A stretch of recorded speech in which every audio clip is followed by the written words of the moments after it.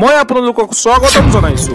দৰ্শকৰ আজি মই আপোনালোকৰ ওচৰলৈ অসমৰ লগতে দেশ বিদেশৰ বিভিন্ন ধৰণৰ খবৰ লৈ আহিছো। খবৰকেইটা খুবেই গুৰুত্বপূৰ্ণ গতিকে ভিডিঅ'টো অলপো স্কিপ নকৰাকৈ শেষলৈ চাই যাব। নিতৌ এনেধৰণৰ খবৰ পাই থাকিবলৈ আমাৰ চেনেলটো ছাবস্ক্ৰাইব কৰি ৰাখিব আৰু এটা কৰি লাইক কৰি আমাক উৎসাহিত কৰিব।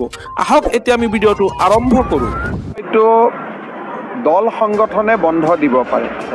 বিৰোধী পক্ষই যদি বন্ধ দিয়ে হাইকোৰ্টৰ অৰ্ডাৰ অৱমাননা হ'ব তেতিয়া আমি ইলেকশ্যন কমিশ্যনক লিখিম যে তেওঁলোকৰ চিম্বল ফ্ৰিজ কৰিব লাগে।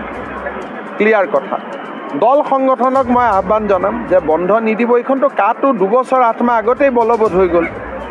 আই এম ডি টি আইন কেনেকৈ বাতিল হৈছিল? সুপ্ৰিম কোৰ্টত যদি কা বিৰোধী লোকসকলৰ যুক্তি সবল তেতিয়াহ'লে ন্যায়ালয়ে ন্যায় দিব। আমি অসমখনত হুলস্থুল কৰি অসমখন কিয় বেয়া কৰোঁ? ফলে ফুলে জাতিষ্কাৰ হোৱা এখন ৰাজ্য। ত্ৰিছ হাজাৰ কোটি টকাৰ বিনিয়োগ তেইছ তাৰিখ তেৰ তাৰিখে হ'ব। যোৱাকালি প্ৰধানমন্ত্ৰী ডাঙৰীয়াই ওঠৰ হাজাৰ কোটি টকা এমাহ আগতে ষোল্ল হাজাৰ কোটি টকা মই তেইছ হাজাৰ কোটি টকা নব্বৈ হাজাৰ কোটি টকাৰ কাম মাত্ৰ চল্লিছ দিনত হৈ আছে। গতিকে এইখন নিজৰ ঘৰখনক কোনোবা নিজেই জুই লগাব বিচাৰিব নেকি? এইখনতো এইবিলাকতো মই কৰা নাই এতিয়া নিকাচি বৰমা ৰাস্তা হ'ব মই খোজকাঢ়িম নেকি? গতিকে এইখন আমাৰ অসম আমাৰ ঘৰ আমাৰ ঘৰখনত আমি কিয় জুই লগাম? আৰু কিয় জুই লগাব খুজিছোঁ? দুবছৰ আগতে হৈ যোৱা আইন এখনৰ কাৰণে। তাৰতো কোনো যুক্তিযুক্ততা নাই। বিৰোধী পক্ষই এতিয়া লাহে লাহে ৰেচন কাৰ্ড থকা মানুহকো আমি অৰুণোদয় দিম। অৰুণোদয়ৰ লগত ইঞ্চুৰেঞ্চ দিম উজ্বলা গেছ দিম।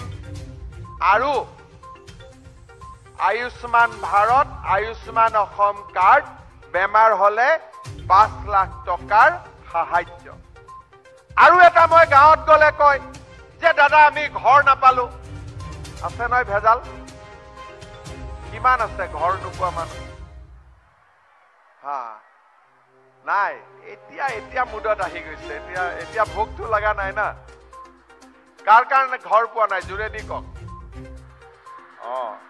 এতিয়া ইলেকশ্যনৰ পিছত আপোনালোকৰ কাৰণে আকৌ এবাৰ জিঅ' টেগিংটো খুলি দিম।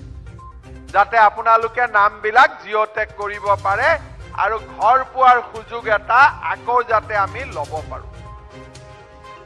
লগত আৰু এটা নতুন সমস্যা কাৰ কাৰ বাইদেউৰ লাখপতি হ'ব ইচ্ছা আছে? কাবাৰ কাবাৰ নাই নেকি? আচ্ছা কাৰ কাৰ নাই হাত ডাঙৰ? নাই লাখপতি হ'ব ইচ্ছা নাই। অ এতিয়া নামাই দিছে। কাৰ কাৰ লাখপতি হ'ব ইচ্ছা নাই? এটাইও হাত নাদাঙে। কাৰ কাৰ লাখপতি হ'ব ইচ্ছা আছে? বা ইয়াতো কিন্তু তিনটাতকৈ ওপৰত বাচ্চা হ'ব নোৱাৰিব ঠিক আছে। দুটা কোৱা নাই তিনটা কৈছো এটা এক্সটেনশ্যন দি দিছো ঠিক আছে? এতিয়া ফৰ্ম বিলাক ফিল আপ কৰি দিলে দিলে কোনে কোনে ফৰ্ম জমা দিলে? হাত ডাঙক এতিয়া যিবিলাকে ফৰ্ম জমা দিলে লাহেকৈ আপোনালোকৰ আমি ফৰ্ম বিলাক পৰীক্ষা কৰিম।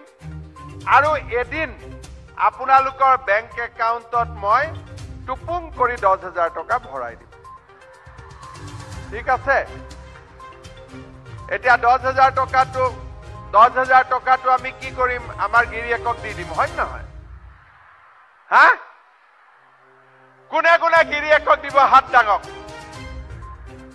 আৰু কোনে কোনে নিদিয়ে হাত ডাঙক? এতিয়া গিৰিয়েক বিলাকে যদি বিজেপিক ভোট নিদিয়ে? গিৰিয়েকৰ মতে ঘৰত ভোট হ'ব নে ঘৈণীয়েকৰ মতে? কাৰ মতে হ'ব ভোট? পাৰিবতো?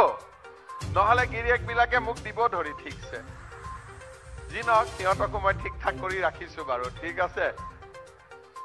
এতিয়া মা অলপ ৰং নাপায়।